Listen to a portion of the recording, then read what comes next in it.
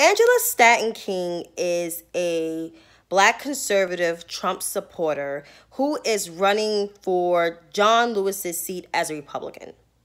She tweeted this today.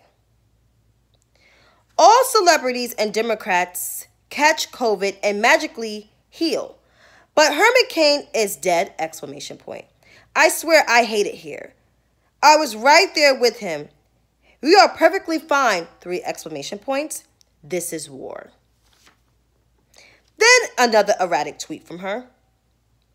Sadly, Herman Cain's death will be a political statement for the Democrats. It's not a political statement, it's a fact statement. Herman Cain had repeatedly downplayed the seriousness and the urgency of this virus, sending out tweets saying that to not wear masks and not social distance. He even said it on his website. Unfortunately, he has passed away due to um, the complications with COVID 19. I'm not gloating his death. I am not saying it's his fault.